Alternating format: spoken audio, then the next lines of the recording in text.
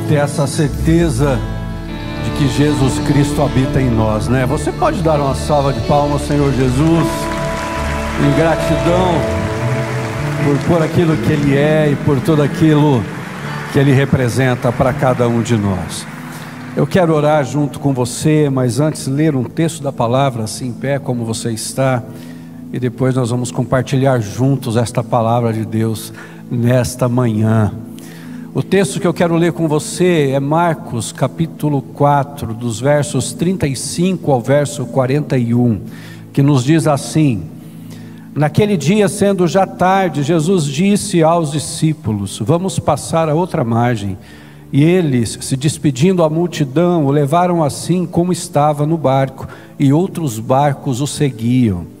Ora, levantou-se grande temporal de vento, e as ondas se arremessavam contra o barco, de modo que o mesmo já estava se enchendo de água. E Jesus estava na popa, dormindo sobre o travesseiro. Os discípulos o acordaram e lhe disseram: Mestre, o Senhor não se importa que pereçamos.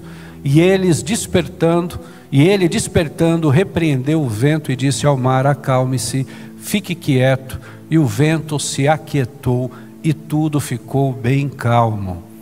Então Jesus lhes perguntou: Por que vocês são tão medrosos? Como é que ainda não têm fé? E eles, possuídos de grande temor, diziam uns aos outros: Quem é este que até o vento e o mar lhe obedecem? Vamos orar juntos. Pai, obrigado. Obrigado porque já sentimos a presença do Senhor aqui neste lugar. Desde que iniciamos esse culto, estamos declarando a Sua soberania, a Sua grandeza, o Seu amor, a Sua fidelidade por cada um de nós. Cantamos louvores ao Senhor, declarando que somos do Senhor e que o Senhor é nosso. Que nós temos a plena convicção de que o agir e o teu mover em nossa vida faz toda a diferença. E agora, mais uma vez, Pai, eu peço a Ti que a tua palavra, aquilo que o Senhor tem como revelação dela para cada um de nós, o Espírito Santo encontre liberdade no nosso coração para assim ministrar. O Senhor sabe de toda a minha vida, o Senhor conhece todos os detalhes, nada é oculto aos teus olhos. E eu tenho neste momento o sentimento no coração de pedir a Ti graça e misericórdia sobre mim. Que aquilo que o Senhor tem para fazer, eu não seja um impedimento mas sim que o meu coração, que está aberto a fazer a tua vontade, o Senhor possa também olhar e ver o desejo desse meu coração, e esta palavra também alcançar todos os, todos os que estão aqui. Cremos em Ti e confiamos em Ti, por isso oramos, Pai, em nome de Jesus. Amém, Senhor. Amém, amém. Você pode assentar-se, queridos.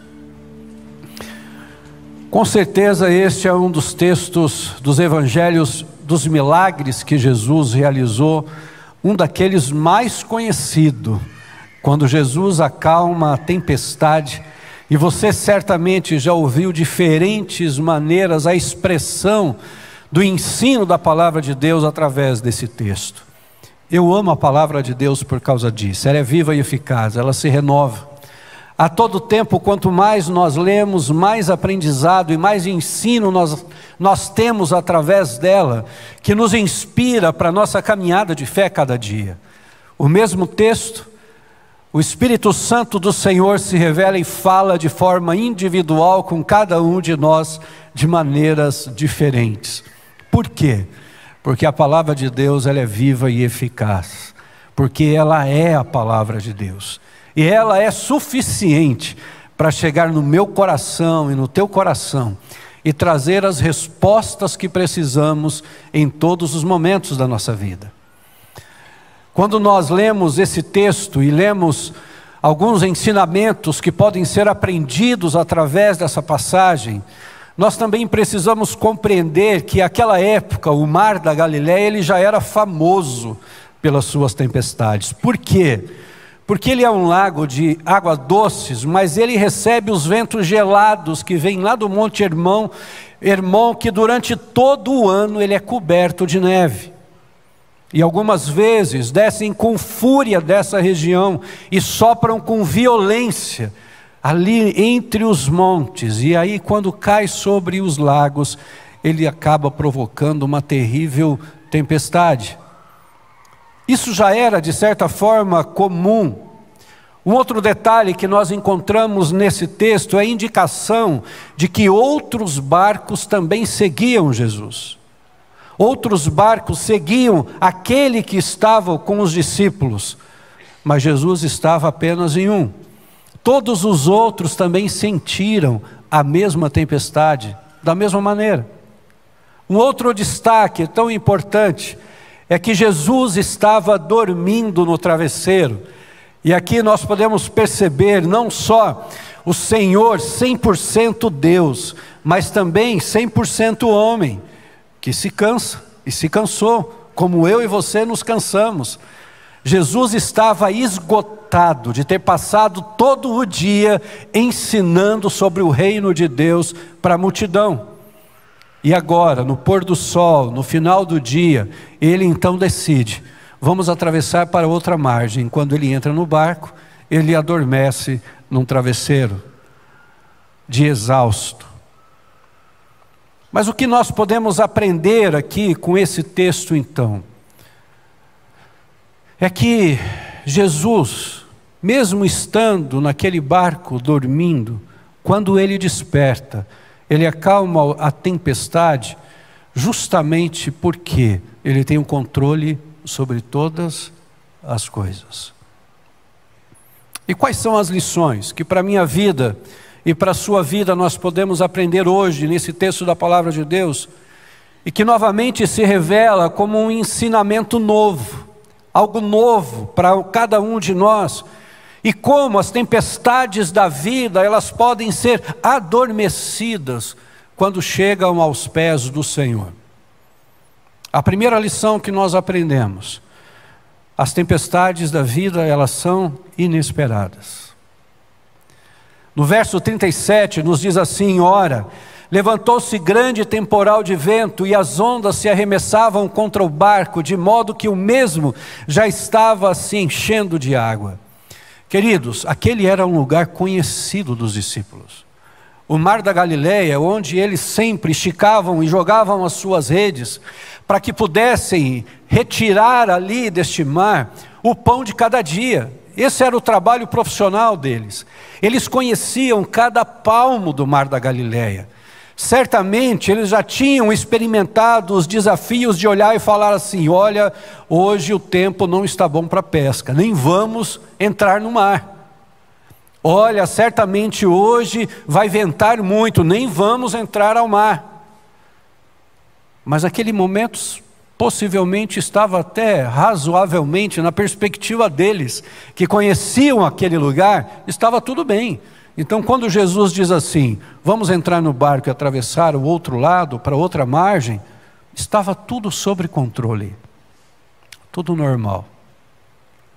E é tão interessante quando esses cenários do nosso dia a dia, os cenários domésticos do nosso dia a dia, de repente eles se tornam lugares ameaçadores na nossa vida. Situações e momentos que estamos vivendo que aparentemente está tudo bem, são lugares seguros. É o ambiente da casa, é o ambiente da igreja, é o ambiente do trabalho, é o ambiente do nosso dia a dia, da faculdade, onde quer que seja, e a gente olha e fala assim: aqui está tudo bem. Mas de repente, esses nossos lugares que aparentemente estavam seguros, se tornam em lugares ameaçadores. Aquilo que estava parecendo administrável, de repente vem uma força incontrolável, que assusta, que dá medo. Uma expressão muito comum usada por todos nós, que tira o nosso chão. Agora, no dia 7 de junho, daqui a alguns, alguns dias, vão completar, completará dois anos de que eu tive o primeiro sintoma da doença que é a mielite transversa no sistema nervoso central.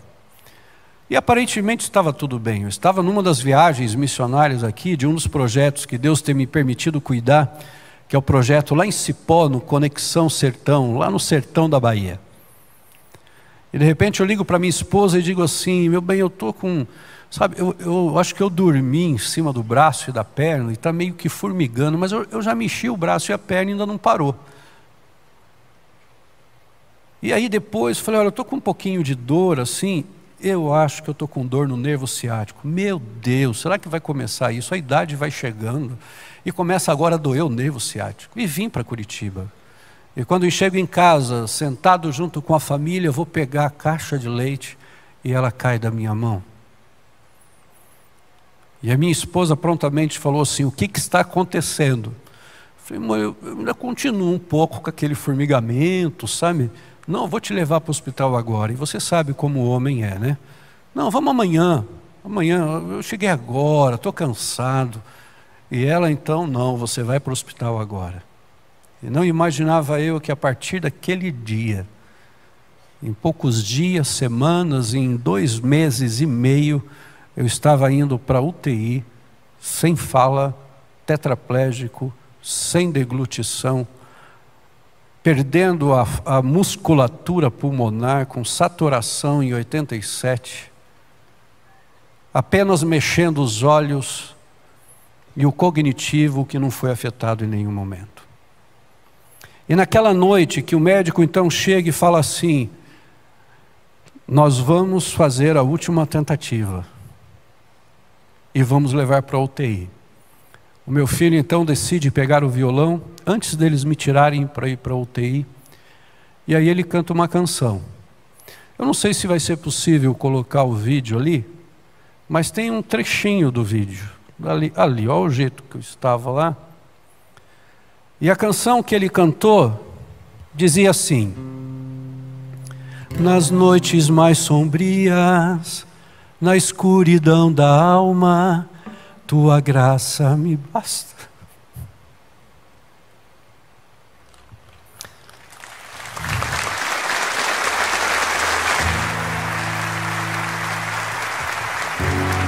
Nas madrugadas frias, na solidão da estrada, tua graça me basta. No vento incessante, toda hora e cada instante, tua graça me basta. Na imensidão do mundo, no abismo mais profundo, tua graça me basta. E ele ficou cantando essa canção. E então me levaram para a UTI, sem saber se sairia ou como sairia. Muitas vezes, as tempestades mais pesadas que enfrentamos na vida, ela não vem de horizontes muito distantes, não. E elas nem trazem coisas talvez tão novas, mas elas surgem no momento em que tudo era ordinário, normal, comum, e aí coloca a nossa vida de cabeça para baixo. E tudo muda. É um casamento que estava até aparentemente caminhando bem, e de repente vem uma traição, de repente vem um sentimento de que não amo mais, e tantas outras coisas que acontecem e aquilo que parecia estar caminhando tão bem muda tudo. Um filho que começa a perder o bom senso de respeito para com os pais, e aí transforma as suas atitudes de forma insolente, atingindo o coração dos pais e ferindo o coração dos pais. E aí vocês olham e falam assim: que, que estava acontecendo? O que será que está acontecendo com esse meu filho, com essa minha filha? E tudo muda. Estava tudo tão bem no seu trabalho, quem sabe até esperando uma promoção. E aí, quando te chamam, você fala: opa, eu acho que agora serei promovido.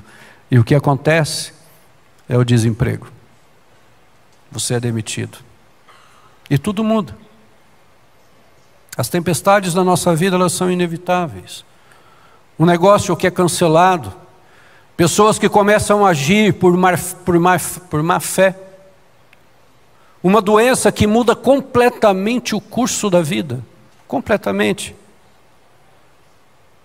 Ainda hoje há momentos que as crises maiores que nós enfrentamos, elas vão partir daqueles ambientes que nós nos sentimos mais seguros. Porque o nosso sentimento é que nós tínhamos o controle. Eu não sei você, mas é tão desafiador quando o ambiente ou a situação que a gente acredita que está tudo bem porque nós estamos controlando, vem uma tempestade, vem um vento e muda tudo.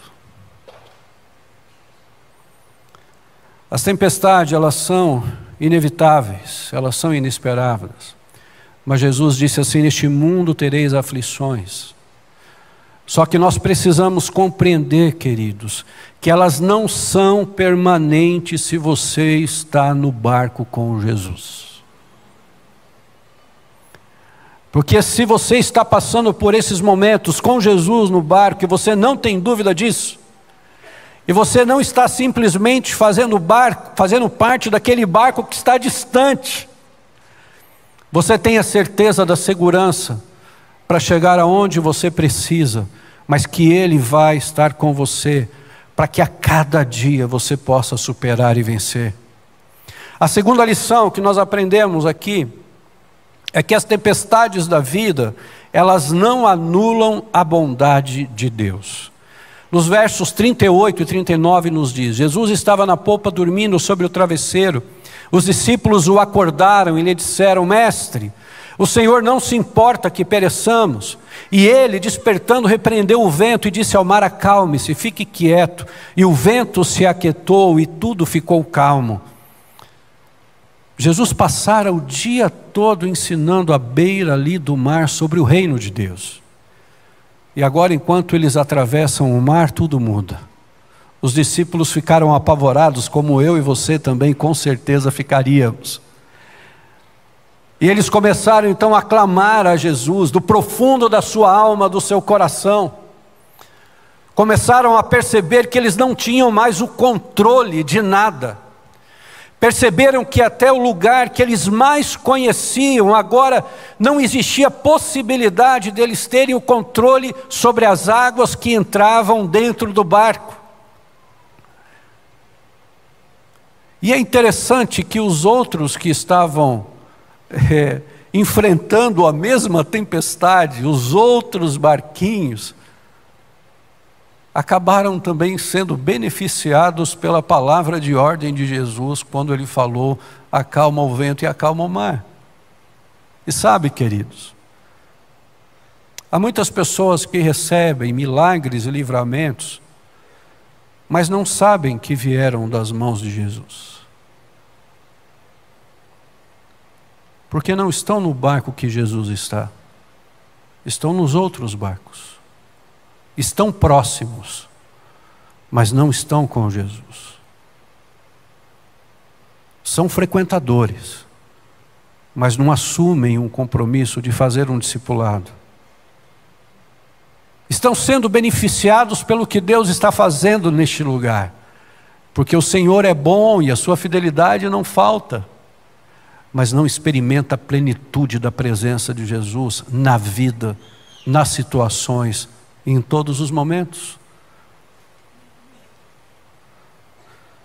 Mas mesmo assim, o Senhor continua sendo bom e Ele continua sendo fiel. A única diferença é que aqueles que estão com Jesus no barco diante das tempestades, eles sempre vão dizer: O Senhor é bom. Como que você está vivendo tudo isso? De uma forma difícil, mas o Senhor é bom. Ele não tem faltado. Não tem do que reclamar. Não tenho por que reclamar, porque o Senhor é bom. Sabe, nós só conseguimos enxergar a majestade que existe dos montes quando nós estamos lá no meio do vale. Aí você olha e fala: esses montes realmente são grandes. Mas são justamente nesses momentos em que o medo toma conta e nós duvidamos que Jesus está no controle. Como nós vamos superar? Como nós vamos atravessar? Como nós vamos conseguir passar por estes dias? Enquanto lia esse texto e vinham estas, estas reflexões para a minha vida, veio justamente um sentimento de que, por que, que os discípulos eles não creram na confiança plena de que Jesus, estando com eles, era suficiente.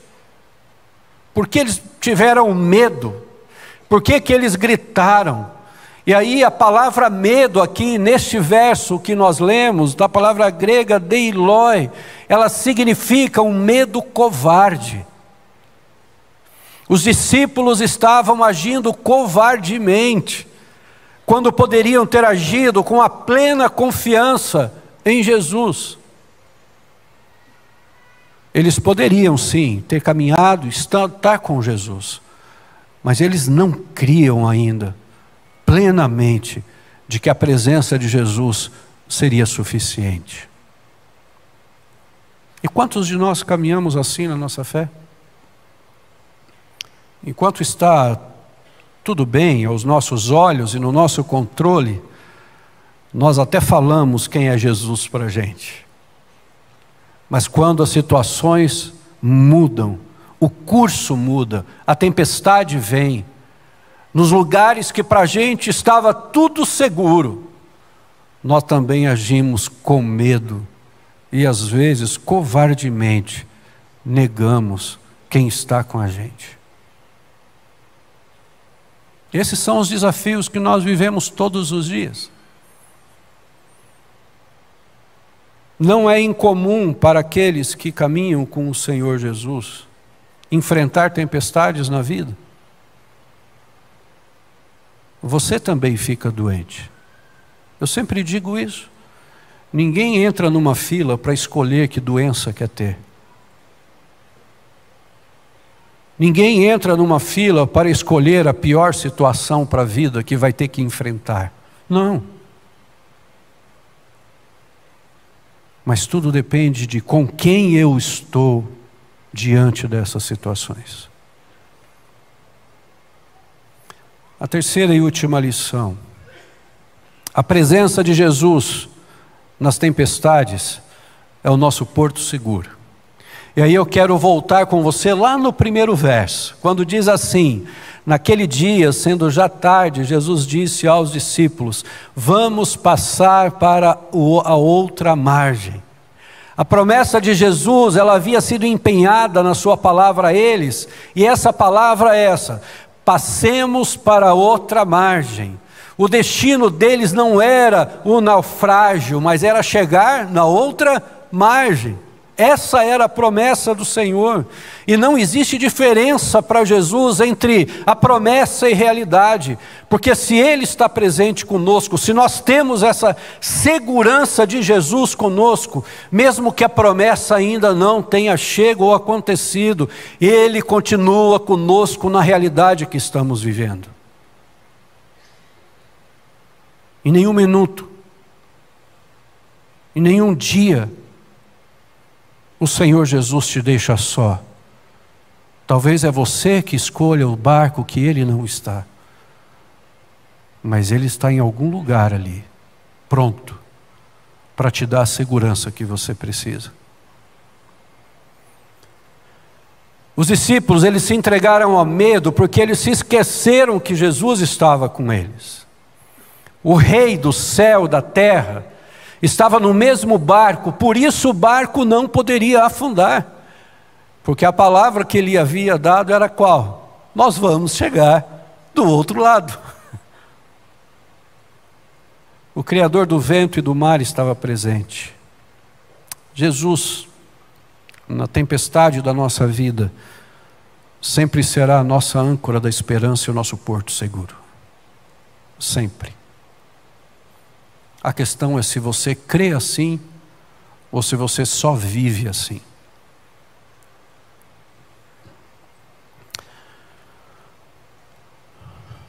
As tempestades, elas chegam em nossa vida sem mandar recado. Ninguém recebe uma mensagem por WhatsApp assim, olha, só para te avisar que as situações ficarão difíceis. Então eu queria te avisar que vai ficar pesado para você. A não ser que você busque isso na palavra de Deus. Eu lembro quando estava no hospital na primeira semana, falei, Senhor, eu estou achando que esse negócio aqui é um pouquinho mais sério, né? Porque eu estou perdendo força de um lado, agora está começando a mesma coisa do outro lado. Aí eu falei, me dá uma palavra. E você sabe qual foi a palavra? Por mais que o exterior se desgaste, o espírito se renova dia após dia. Aí eu mandei uma mensagem para minha família: olha, aqueles grupos de família, de madrugada, falei assim: se preparem, porque eu creio que virão dias difíceis. Porque a palavra de Deus diz: por mais que o exterior se desgaste, mas o espírito se renova. Quando o Senhor diz para você assim, filho, eu vou te deixar num tempo do deserto. Aí você fala, Senhor, é, é a minha senha mesmo? tem, tem alguma possibilidade do Senhor esperar eu resolver isso primeiro na minha vida? Mas sabe, queridos, as provações, as tempestades, o deserto, são lugares onde nós somos ainda mais forjados para os planos e propósitos de Deus e aprendemos a depender mais dEle. E passamos a confiar mais nele. Onde o medo prevalece, a fé desaparece. Diz isso junto comigo. Onde o medo prevalece, a fé desaparece. Agora diz para quem está do seu lado isso, para você decorar bem. Onde o medo prevalece, a fé desaparece. Eu lembro de histórias da minha casa, do meu pai, a minha avó me contando essas histórias, e depois ouvindo também do meu pai. Meu pai, com 19 anos, teve tuberculose. E ela complicou e atingiu os dois pulmões, numa época em que isso era muito difícil. E então as pessoas eram deixadas, afastadas, porque se tinha como contagioso. O meu pai era um líder de jovens na cidade, na comunidade que ele então liderava. E ele chegou a um estado de ficar quase pele e osso. E precisava vir para Curitiba para Santa Casa aqui em Curitiba. Então ele era muito querido na cidade. O prefeito disse assim: Olha, se precisar, eu disponho do avião da prefeitura para levá-lo. E o médico falou assim: Ele não aguenta. Ele não vai aguentar. Mas era uma tentativa. Então reuniram-se todos os jovens que ele liderava no quarto do meu pai, na sala, na cozinha, aquelas casas com aquelas varandas enormes de antigamente e, e, e, no, e no, no, no chão que tinha da parte externa, centenas de jovens lá foram orar para se despedir do meu pai. E aí o pastor que estava orando por aquele momento, de repente ele disse assim: Para, para, para, não precisa orar mais. Eu vi quando um homem entrou aqui com uma maleta e colocou dois pulmões novos no Silas. Queridos, a ousadia, a coragem, a certeza, a convicção. E aí levaram o meu pai então para vir para a Santa Casa. E ele chegou aqui. Ele não veio fazer PET scan, ressonância magnética, tomografia. Naquela época se chamava chapa. Quantos aqui lembram que se chamava chapa? Ah, vocês também são mais ou menos dessa época, é? se chamava chapa. Fizeram a primeira, fizeram a segunda, fizeram a terceira, fizeram a quarta. E de repente aquele médico diz assim: Olha, não tem coerência, eu acho que vocês trouxeram o paciente errado. Mas como? É ele. Não pode ser ele. Os dois pulmões dele são novos.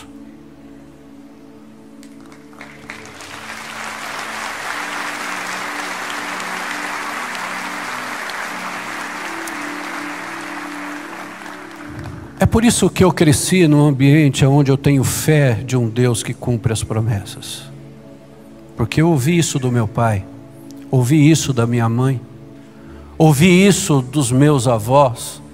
Eu lembro com meu pai na Praça Raposo Tavares, em Maringá, na frente da antiga rodoviária, quando meu pai ia para aquela praça sem microfone e começava a pregar, pregar e pregar.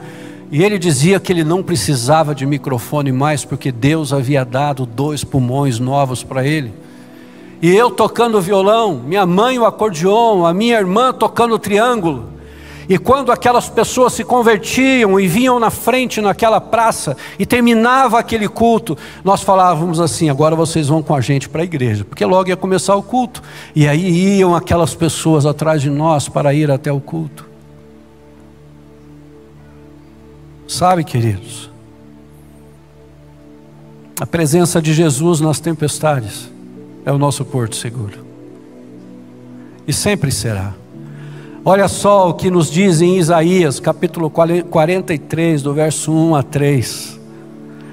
Mas agora sim diz o Senhor, o que criou, ó Jacó, o que o formou, ó Israel, não tenha medo porque eu o remi, eu o chamei pelo seu nome, você é meu. Quando você passar pelas águas, eu estarei com você. Quando passar pelos rios, eles não submergirão. Quando passar pelo fogo, você não se queimará. As chamas não o atingirão, porque eu sou o Senhor, seu Deus, o Santo de Israel, o seu Salvador. Como seguidores de Cristo Jesus, nós precisamos estar preparados para as tempestades. E Jesus não promete muitas vezes uma viagem calma e fácil, mas Ele nos garante a chegada certa e segura. O que Jesus disse foi: Nós vamos para outra margem. Nós vamos chegar lá.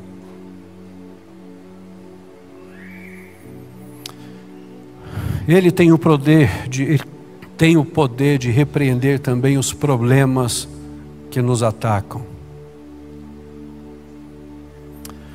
Sabe, muitas vezes mais forte do que os ventos que atingem a nossa vida é o nosso medo e a nossa incredulidade.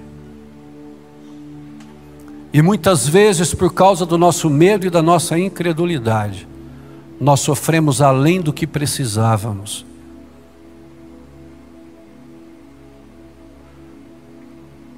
Porque falamos que temos Jesus, mas não cremos que Ele é suficiente para estar conosco nos desafios da vida. Mas hoje, nessa manhã, vai ser diferente com você, amém? Vai ser diferente na sua vida, na sua história. Vai ser diferente com o momento que você está vivendo e passando. Vai ser diferente não porque eu estou falando, porque eu sou uma pessoa igual a você. Dependente dessa mesma graça e misericórdia, desse mesmo renovo todos os dias. Mas é porque a palavra de Deus nos diz Antes, esses discípulos, eles estavam com medo da natureza. Mas depois, eles passaram a temer o criador da natureza. E hoje nesta manhã eu quero te convidar a isso. Não temos mais Jesus adormecido no rugido da tempestade, mas a tempestade adormecida aos pés do Senhor por causa da Sua presença. Eu quero orar junto contigo.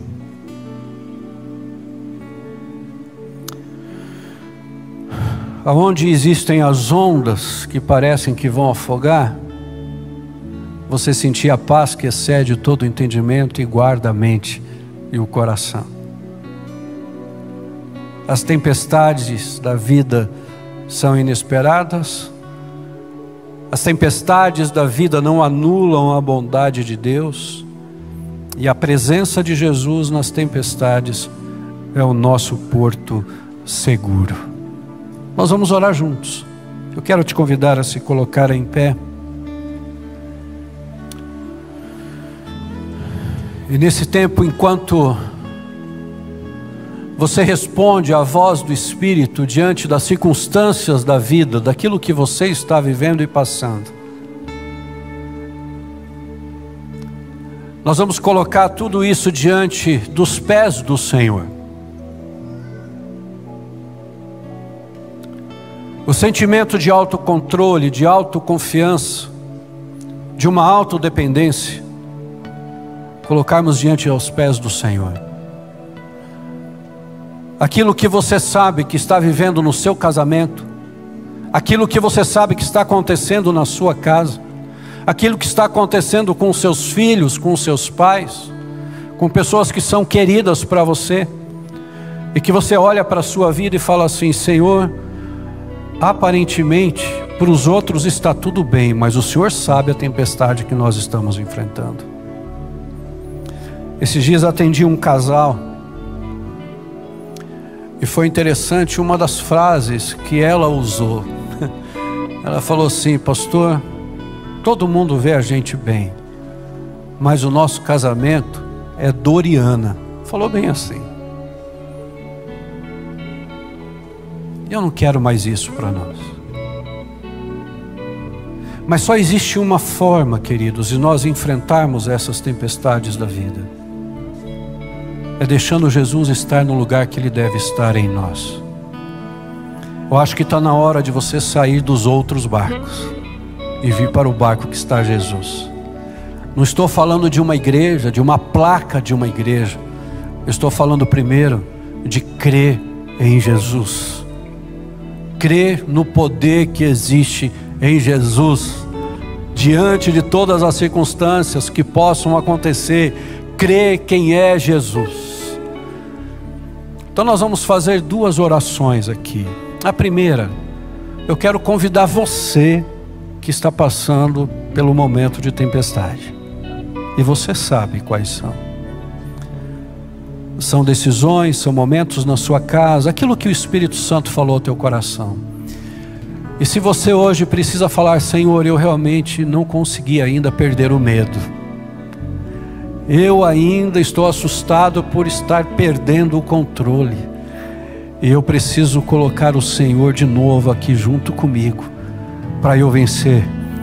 Se você é essa pessoa, sai do seu lugar aqui de baixo ou aqui em cima na galeria e vem à minha esquerda aqui. Eu quero orar junto com você por isso. Quero juntamente com você colocar isso diante da presença do Senhor e falar assim: Senhor, aqui estão pessoas que estão vivendo os momentos de tempestade na vida e estão precisando dessa sua intervenção. Estão clamando: Jesus, o Senhor está vendo o que está acontecendo? E que estão precisando ouvir Jesus falar assim: Eu estou presente. Se você é assim, vem aqui à minha esquerda, por favor. Agora, se você essa manhã está distante do Senhor Jesus, você foi aquele que conheceu o Evangelho do Senhor. Você se afastou desse Evangelho por circunstâncias tão diferentes, por circunstâncias tão complicadas, mas hoje o Senhor te trouxe aqui. E você sabe que você não está nem num barco próximo, você está em um barco distante. E você está falando assim: não, hoje eu quero voltar aos caminhos do Senhor. Eu quero voltar, quero me reconciliar contigo. Você vai ficar bem para a minha direita aqui, tá bom? Você que vai tomar essa decisão. Você que é só um frequentador, que está naquele barquinho ali distante, que experimenta as bênçãos, os milagres, mas não está experimentando direto na fonte, naquilo que Cristo quer fazer com você. De repente você hoje precisa tomar uma decisão, não eu quero fazer um discipulado, não, eu quero que Jesus tome conta da nossa família. Não, eu quero assumir um compromisso de membresia com essa igreja. Você então vem aqui à minha direita e nós vamos orar juntos neste momento. Olha para mim um pouquinho, vocês que estão aqui na frente. Só existe uma coisa que diferencia a minha vida da sua: é a nossa digital, só. Porque nós somos iguais. Dependemos do, do mesmo Jesus, da mesma presença de Jesus, só que em circunstâncias diferentes. Você tem as suas, eu tenho as minhas. Mas eu venho aqui, na autoridade, pelo poder que há no nome de Jesus, dizer para você: não ande no barco que Jesus não está. E fale, Jesus, eu acho que a gente se distanciou um pouquinho. Entra no nosso barco de novo. Entra na minha história de novo. Entra na minha vida de novo. Senhor, eu estou com medo. Pode falar a Ele, eu estou com medo. E a pior sensação é a de perder o controle. A pior sensação é não saber o que fazer, Senhor. Diga isso a Ele. E você pode ter certeza que a tempestade ela irá adormecer aos pés do Salvador. Eu creio nisso. Nós vamos chegar juntos do outro lado da margem. Essa é a promessa do Senhor. Vamos passar por tudo, mas vamos chegar juntos no outro lado da margem. E vocês que estão tomando essa decisão por Jesus e de voltar aos caminhos do Senhor Jesus. Eu fiz isso na minha vida e foi a melhor decisão que eu fiz. Eu não imagino como enfrentaria tantas circunstâncias que já precisei enfrentar, se não fosse tomada a decisão de deixar Jesus no controle. Nós vamos orar juntos por esse momento. Eu quero pedir a você que está ali, você estender as suas mãos para cá, por todo esse povo que está aqui. E nós vamos pedir que a graça e a bênção do Senhor estejam sobre eles. E assim nos derramarmos na presença do Senhor. Pai querido, há poder no teu nome. O Senhor é Deus tremendo e nada se compara a ti. O Senhor é fiel. A sua palavra é verdadeira. Eu não consigo e jamais teria condições disso, de conhecer a história de cada um destes teus filhos e filhas que estão aqui.